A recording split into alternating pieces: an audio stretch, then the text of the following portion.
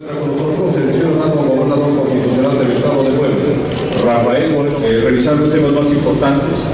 Este, obviamente, el, más importante es dar seguimiento a, este, las afectaciones resultantes de la tragedia de San Martín de Luque. Eh, revisamos cómo, este, cómo se han dado estas afectaciones, apoyo y la atención a las víctimas y a la comunidad.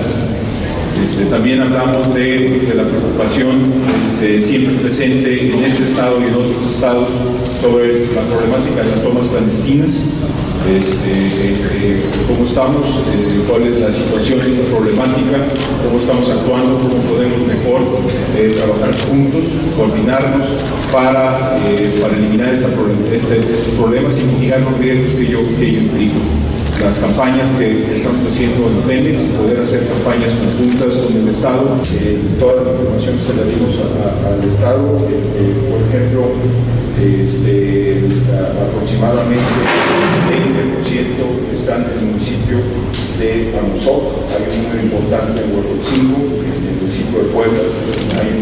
También este, importante, el año pasado hubo en San Martín. Este, entonces, eh, eh, digamos que son alrededor de ocho municipios los que, los están más afectados, son obviamente los que pasan los ductos este, que, que- transportan productos de, realizando y que sin duda esta respuesta rápida y no solo para atender el desastre, sino también para poder estar abiertos a apoyar a San Martín de Lucas, concretamente a la zona que fue afectada. En términos de remediación ambiental, se recuperaron 700 mil litros de crudo y se llevó a cabo una limpieza del río Toyac. Hemos hecho una petición que estará siendo elaborada por Pemex para que participe la empresa en el gran proyecto que tenemos de saneamiento del río Atoyac y por lo tanto espero que tengamos buenas noticias pronto en ese sentido.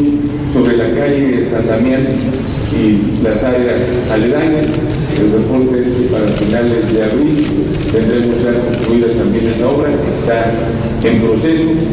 Asimismo, las afectaciones a los terrenos agrícolas, tanto en Puebla como en el estado de Tlaxcala, que impactaron a cinco canales de riego, ya fueron atendidas, y de afectación a cultivos, concretamente 14 lotes, 12 de ellos ya fueron pagados De Electricidad. De tal suerte que hemos venido analizando caso por caso cada una de las afectaciones de la tragedia que se llevó a cabo en San Martín.